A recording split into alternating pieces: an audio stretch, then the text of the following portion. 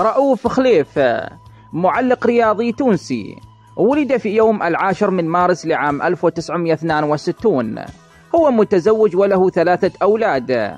درس في كلية الحقوق بجامعة مونبليه بفرنسا. بدأ مشوار رؤوف خليف كمراسل لبعض الصحف الفرنسية لنقل أخبار الرياضة العربية بشكل عام والتونسية بشكل خاص خاصة لوجود أعداد كبيرة من العرب في فرنسا. وبدأ بالتعليق من خلال القناة التونسية الأرضية ومن بعدها نقل إلى قناة تونس سبعة الفضائية. بعد ذلك طلبته شبكة راديو وتلفزيون العرب وانضم إليها عندما كان مقرها في إيطاليا. يعمل الآن معلقا على قنوات بي إن سبورت العربية.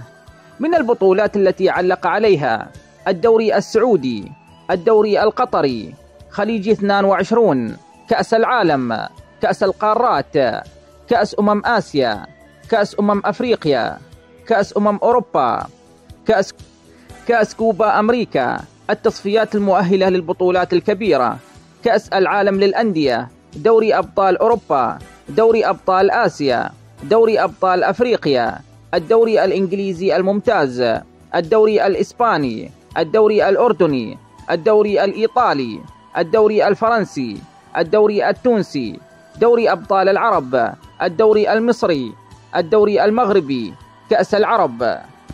وفي ختام هذا التقرير لا تنسوا الاشتراك والإعجاب في هذه القناة. لكم مني أطيب الأمنيات والسلام عليكم ورحمة الله تعالى وبركاته.